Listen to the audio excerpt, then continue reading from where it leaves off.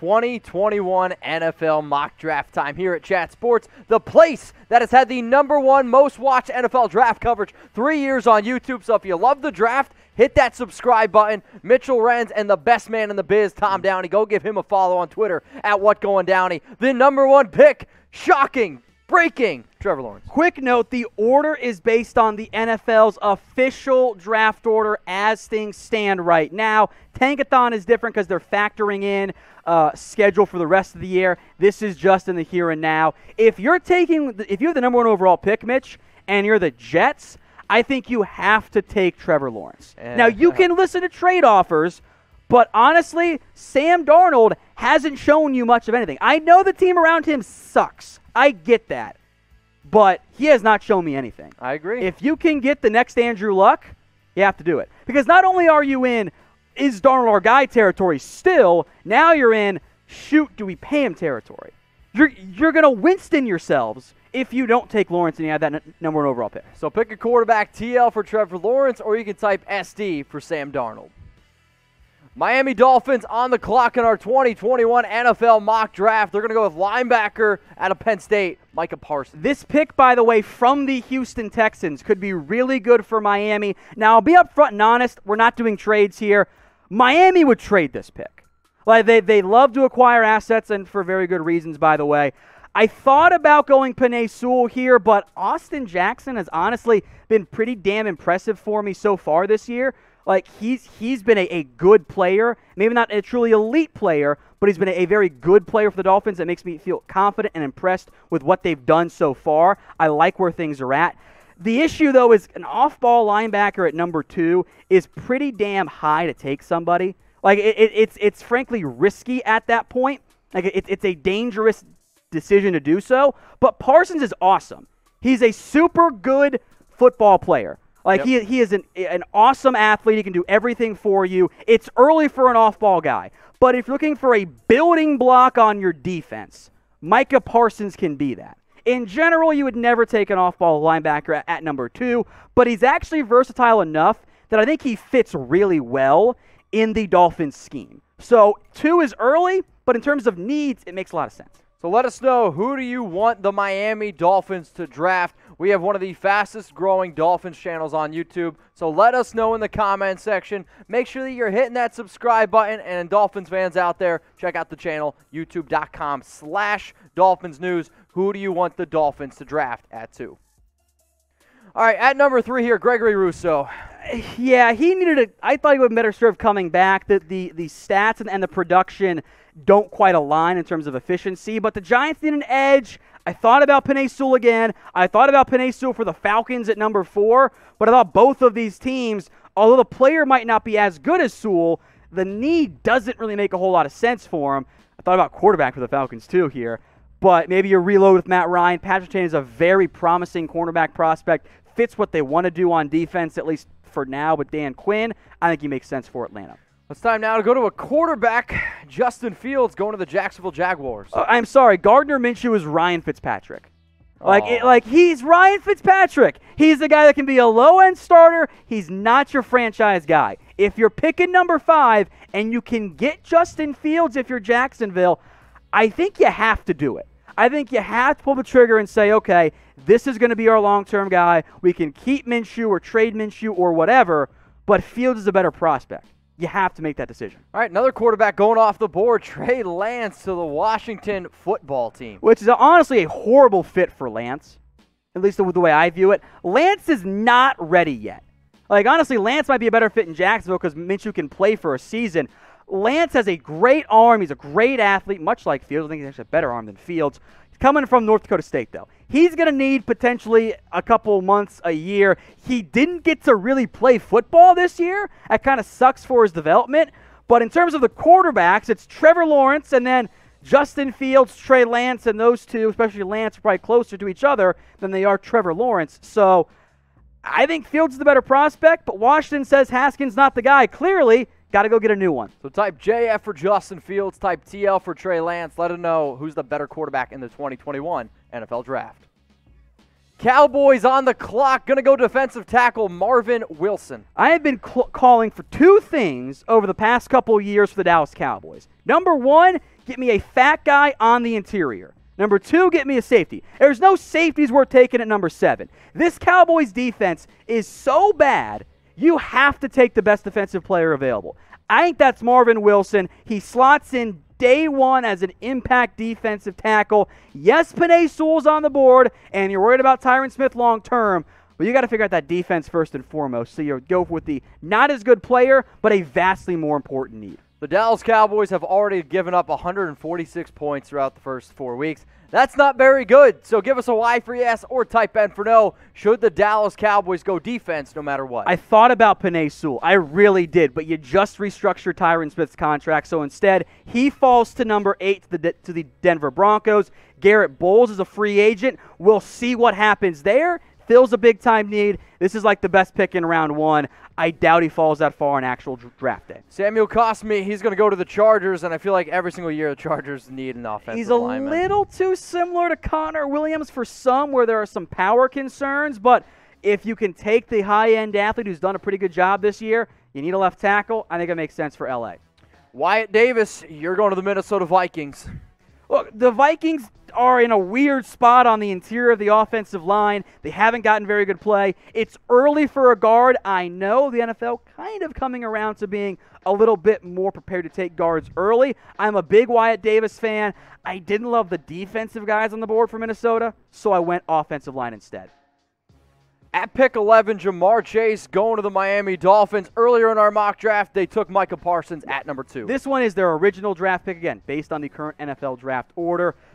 Chase is part of an absolutely stacked and loaded wide receiver draft class. Like, we'll get to the other guys later on here. His production last season was absolutely out of this world, Bananas. and it was never going to repeat. He was honestly pretty smart for opting out of this season because he was going to put up maybe half of that. Yeah. Now, half of that Still pretty good. it's still wild production, but you can go Jaylen Waddle or Rondale Moore or Rashod Bateman if you want. I think Chase can be a legit number one guy for you.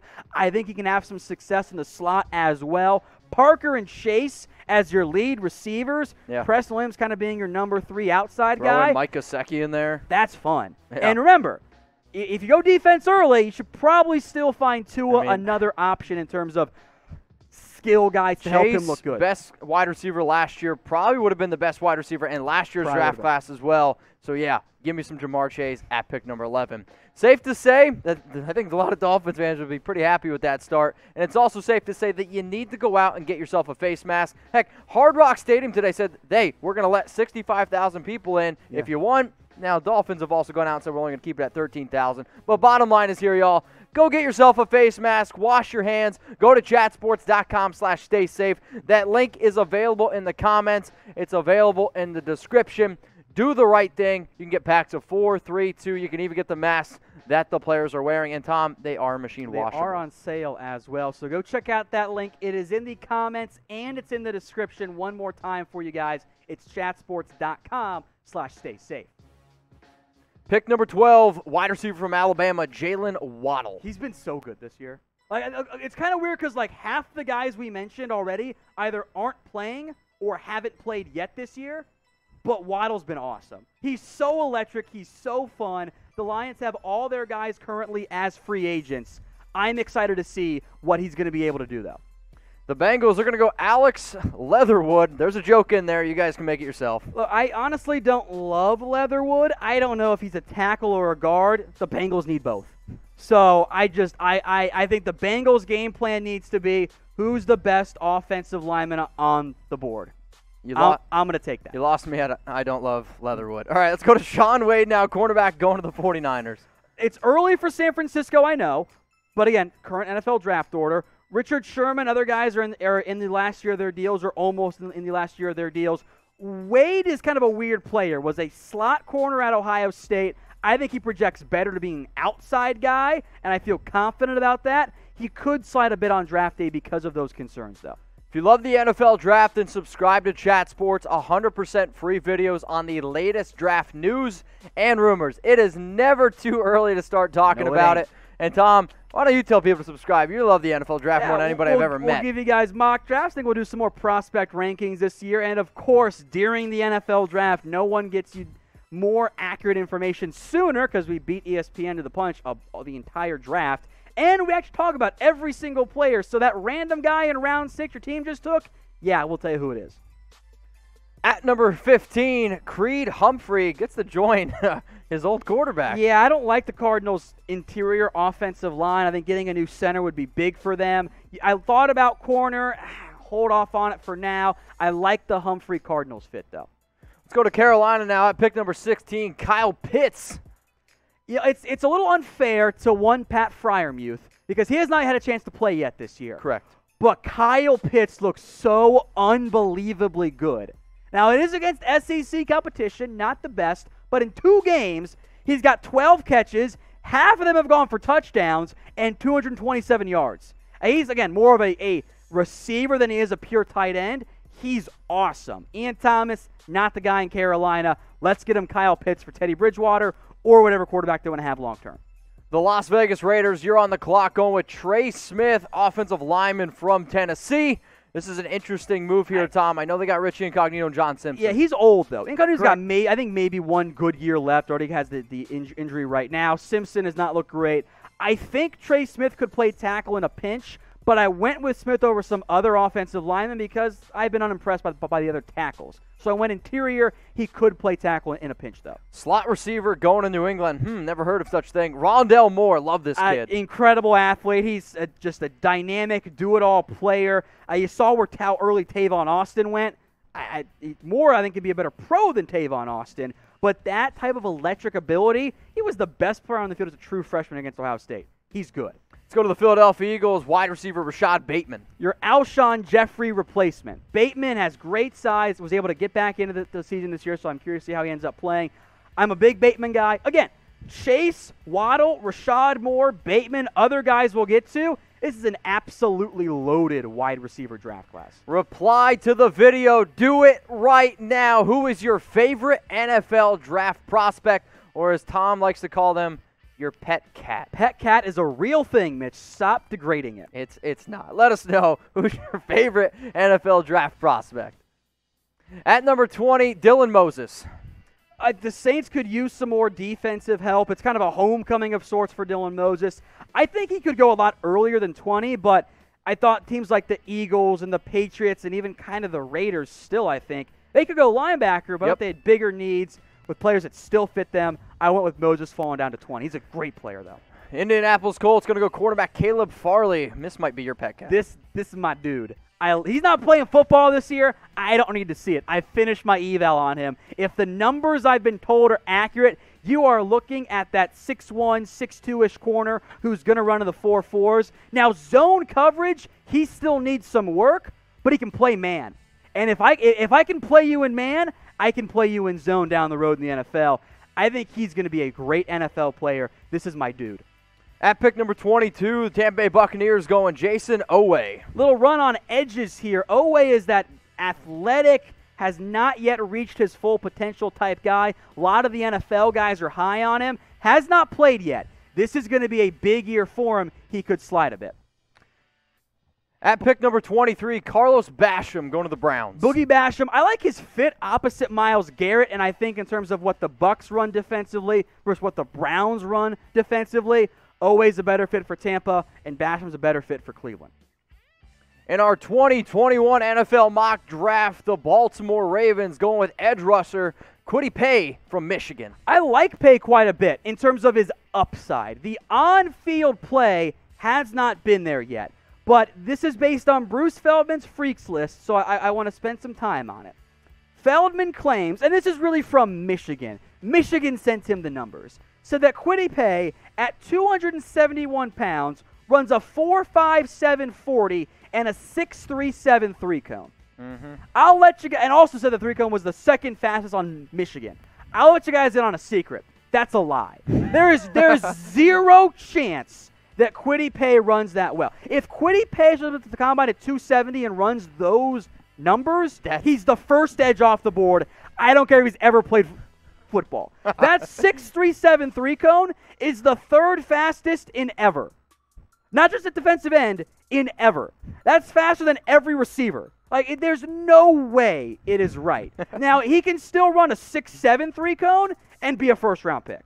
That athletic profile is not easy to find. So, with Michigan being able to play this year, Kwity Paye could be primed for a huge breakout year. And if that happens, 24 to the Ravens, who need an edge pretty badly, it might be too late for them. if he has, if he puts up double-digit sacks, or I guess whatever the the prorated number is for a fewer, you know, amount of games, he's going to go in round one.